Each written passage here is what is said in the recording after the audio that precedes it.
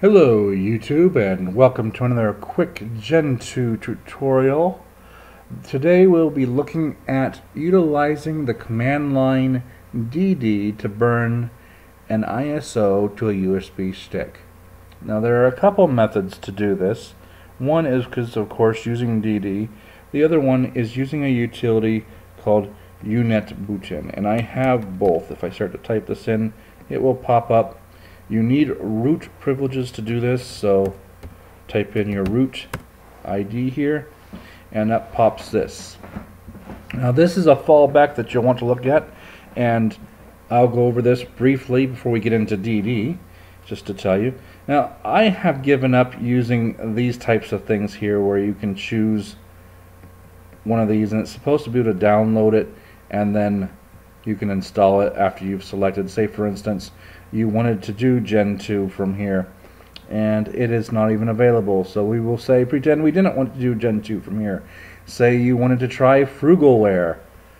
And then of course you can choose the stable, the current, etc. And or if you had a disk image, you could click on disk image, point it to the disk image.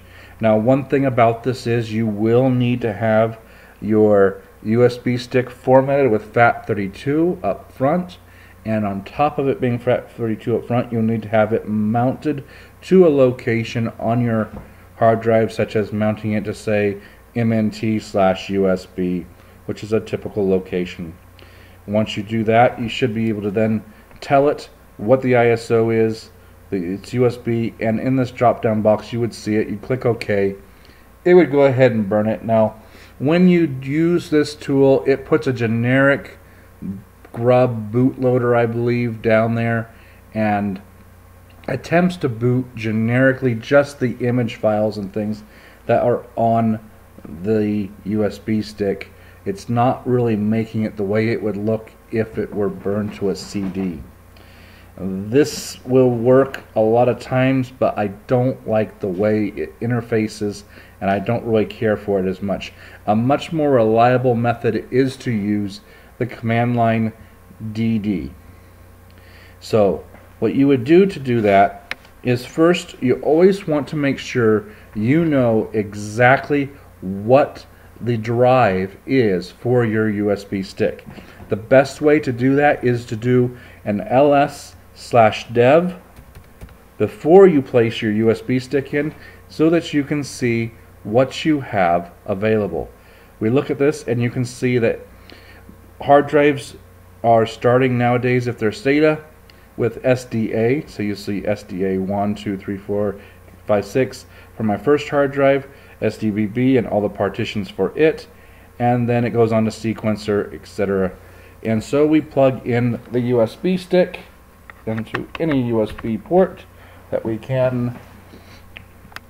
It will light up, load itself, we'll wait a few seconds, and then if we repeat the command ls slash dev, you will see now that instead of sequence being at the top of this, you will see that it says SDC SDC1. That means that the USB stick that I plugged in there is this right here, SDC SDC1, and that's what we want to make sure that our output is to. It is very important to know this because if for some reason you aren't paying attention and you throw your output to say SDA or SDB, you could destroy a partition, you could destroy your entire hard drive by writing an ISO to it, and DD command is not forgiving. When you do that, you can destroy everything. So the next step now that you have that is to make sure that you have your ISO available. You can download any ISO from the internet, have it there. I'm going to go ahead and just minimize that for a moment. In this case, we are going to be burning the minimal 64-bit install for Gentoo to my SD or to my USB card. The command line for that is DD and then you want to set up your file size for the the chunks to be sent to the USB stick so that's BS equals 4. I like to use 4 megs. So that's 4 with a capital M and that is case sensitive. The next thing is if equals input file. Remember that, and you'll always remember this is what you want to be inputting to your S your SD card or your USB stick, etc. So if equals, and we're doing the install AMD 64 minimal from Gentoo, OF is your output file. We point that to equals. Always make sure you're equals. I don't know how many times I put a space there and forgotten the equals, and I'll, it'll give you error. But OF equals dev slash SDC. You don't want to do SDC1 because you're burning an entire ISO to the root of this hard drive. If you were to try to do this to SDC1, it would be trying to write it to just the first partition. After you've done this, you go ahead and hit enter. And this is a relatively small ISO, so it shouldn't take us any more than 20-30 seconds to copy 260, I think, some odd megs of data. You will not see any information at this point. You might see your USB light flicker and go solid, bounce around for a bit. Nothing else will happen. If you're doing a much larger ISO, such as a 3 to 4 gig, or if you even have a larger one than that, then it could take you 10 to 15 minutes, or however long your write speeds are. In this case here, it says it took 31 seconds. It was recording at 8.4 megs per second, and it copied 266 megs to the SD, or I keep saying SD card, to my USB drive. At this point in time, you have the ability now to reboot the system and if your system will support booting from USB it should see this and boot just as if you had had the CD of the same data in there. Sometimes however you'll have an error where it can't see the SD card as the ah there I go saying SD card I apologize to anybody if I keep saying SD card I'm meaning USB stick.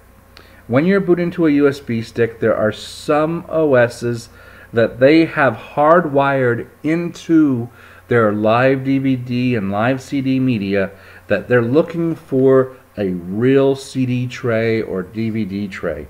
That can be confusing to the boot media and it will not boot because it cannot find it. And even if you try to point it to dev slash SDC1 or dev SDC, it will sometimes fail. A tool you can use to try to repair that is isohybrid. So if you type in isohybrid and then the name of the file or the, I, the ISO, it will attempt to go in there and make it so it will work when you try to use DD again to burn it. Now I'm going to pause real quick while I check to verify where you find the isohybrid and I will be right back because that is something that doesn't come default that you would have to install a package to get. And we are back. Now a really good tool that I use to find information like this is eQuery, and I have done some videos about this, but I always forget too which command we need to use. I did use eQuery belongs isohybrid. It searched for isohybrid, came back and said that you can install this with the package syslinux and it is version 4.07 that I have installed. So little tidbit in there about that. So if you're looking for ISO hybrid, so that you can try to fix the, the ISO to burn it to a USB stick, then that's what you would need to install to get that program. Again, this is a very useful tool. I use it for 99.9% of all of my ISO burns to USB sticks, and it works most of the time. If it does not work, it is not a fault of the DD application, but normally a fault in the way that the ISO has been built. I hope this helps you out, and I'll try to keep this short. So I will sign off for now. So if it's morning, evening, noon, or night, whatever you're having, I hope you enjoy it. I hope this helps. And uh, good burning and enjoy those live DVDs on USB. Thank you all. We'll talk to you later. Bye.